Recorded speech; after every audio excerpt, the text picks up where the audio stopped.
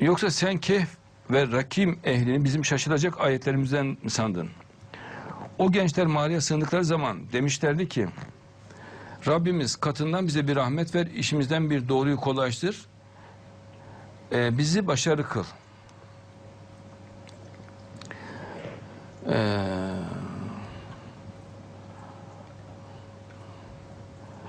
Biz sana onların haberlerini bir gerçek olarak aktarıyoruz. Gerçekten onlar Rablerine iman etmiş gençlerdi. Biz de onların hidayetlerini artırmıştık.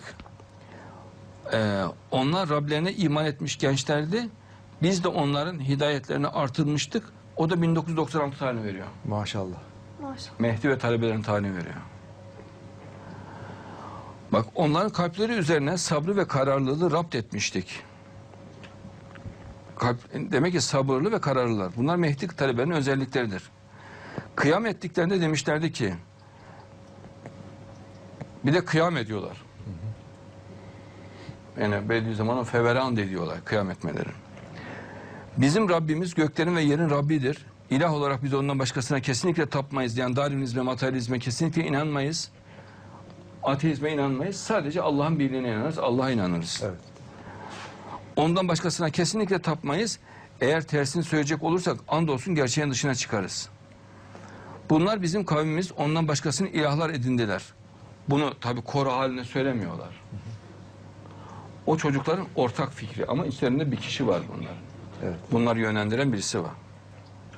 Yani fakat onlarda ortak olan düşünceyi Cenab-ı Allah söylüyor. Evet inşallah.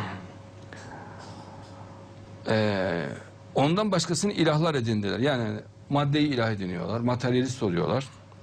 Onlara apaçık bir delil getirmeleri gerekmez miydi? Mesela biz de Darwinistlere diyoruz ki apaçık bir delil getirin, fosil getirin. Proteinden tesadüf ve meydana geleceğine dair delil getirin. E, yok diyorlar. E, yoksa bittin demektir. Biz getiriyoruz çünkü. Tabii. Değil mi? Delil getiriyoruz.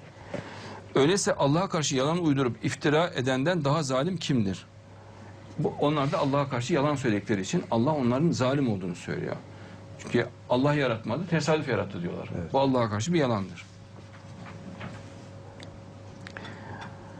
Bak içlerinden biri demişti ki Bak işlerinden biri demiş ki madem ki siz onlardan, ailenizden ve Allah'tan başka taptıklarından o devrin işte materyalist, darwinist, ateist, evrimci düşüncesinden kopup ayrıldınız.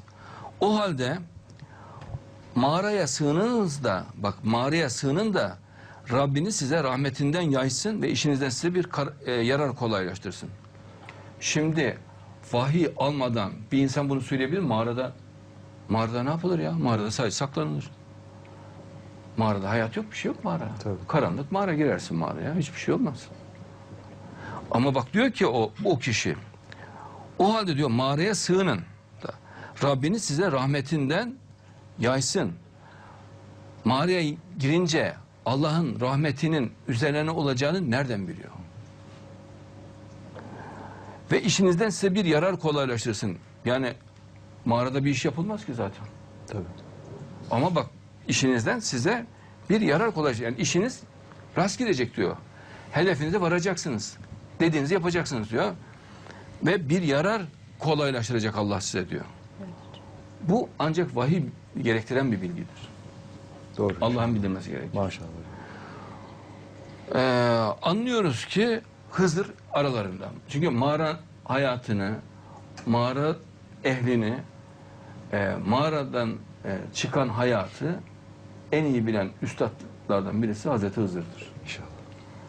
Hatta bu iddia eden Ergenekon örgütü bile e, biz diyorlar mağaradan gelen ruhani varlıkları yönetiyoruz diyorlar. Agartha diyor. Agartha. İnşallah. e, yeraltı mağaralar sistemi. Oranın üstadı Hızır Aleyhisselam'dır. Maşallah. Mağaranın üstadı Hızır Aleyhisselam'dır. Maşallah. Allah alem gençler bir ihtimal Hazreti İsa'nın talebeleri. Zor durumda kalmışlar. Aranıyorlardı Allah'ım. Çünkü çok felaket bir ortam var. Onlar da Yahya'yı şehit ettiler. Zekeriya'yı da şehit ettiler. Zekeriya Aleyhisselam, Hazreti Evet. Yahya'yı da şehit ettiler. İsa Aleyhisselam'ı da şehit ettiğini zannettiler. Muazzam bir gerilim oldu. Ama sonra Hazreti İsa Aleyhisselam onlara daha önce vahiy ile bildirdiği e, konu akıllarına gelince rahatladılar. Çünkü ben göğe çekilece çekileceğim dedi Hazreti İsa Aleyhisselam. Evet. Ee, buradaki şahsın Hazreti Hızır olduğunu anlıyoruz. Görürsün ki güneş doğduğunda mağaralarına sağ yandan yönelir, battığında onları sol yönden sol yandan keser geçerdi ve onlar da onun mağaranın geniş boşluğundalardı. Bu Allah'ın ayetlerindendir. Allah kime hidayet verirse işte hidayet bulan odur. Mehdi olan odur. Kimi saptırırsa onun için asla doğru yol gösterici bir veli bulamazsın. O da Deccal. Bak burada hem Mehdi'den hem Deccal'den bahis var. Sen onları onları uyanık sanırsın. Oysa onlar uyuşmuşlardır. Yani yakaza hali gibi bir hal. Uyuşmuşlardır. Zaten bu konumda Hızır'la bağlantı oluyor. Biz onları sağ yana ve sol yana çeviriyorduk.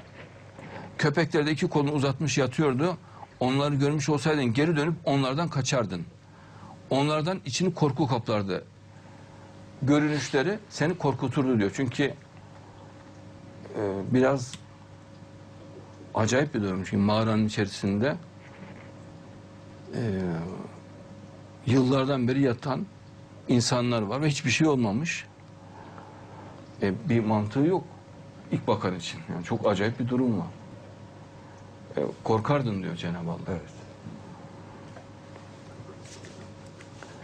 Böylece aralarında bir sorgulama yapsınlar diye onları dirilttik, uyandırdık. Yani o yakaza halinden, o boyuttan çıkarttık diyor Allah. İçlerinden bir sözcü dedi ki, ne kadar kaldınız? Yine aynı kişi. Allah alem. Hızır aleyhisselam inşallah. Dediler ki bir gün veya bir günün birkaç e, lik saati kadar e, bir, e, bir gün veya günün bir kısmı kadar kaldık. Şeytandan Allah'a sığınıyorum. Dediler ki ne kadar kaldığınızı Rabbiniz daha iyi bilir. Şimdi biriniz şu paranızla şehre gönderin de hangi yiyecek temizse baksın size onlardan bir rızık getirsin. Ancak oldukça nazik davransın. Sakın sizi kimseye sezdirmesin. Bu kadar ince bilgiyi, detaylı bilgiyi kim veriyor? Hızır. Allah alem Hızır. Evet. Dediğiniz gibi. Bak çünkü durumunuzu bilip ele geçirirlerse sizi taşa tutarlar veya dinlerine geri çevirirler. Bu durumda ebedi olarak kurtuluş bulamazsınız. Böylece Allah'ın vaadinin hak olduğunu ve gerçekten Allah'ın vaadi ne? Hakim. Mehdi'nin çıkışı, İttihat-ı İslam, İsa Aleyhisselam'ın zuhuru ve kıyamet. Allah'ın vaadinin hak olduğunu, gerçekten kıyametin kendisinde şüphe bulunmadığını bilmeleri için. Kıyamet mutlaka kopacak diyor. Yani ona ait alametlerde oluştu biliyorsun inşallah. Onları buldurmuş olduk. Kendi aralarında durumlarını tartışıyorlardı. Dedi ki onların üstüne bir bina inşa edin. Rableri onları daha iyi bilir. Bu bina inşa etme, duvar inşa etme kimin işi? Hızır Aleyhisselam. Hızır Aleyhisselam'ın. Onların işine galip, e, bak işine galip gelen, sözleri geçenler ise üstlerine bir mutlaka bir mescit yapmalıyız dediler. Mescit konusunda da uzmandır Hızır Aleyhisselam. İnşallah. Bu Hazreti Süleyman'ın mescidinde de inşallah görev almıştır. İnşallah. İnşallah.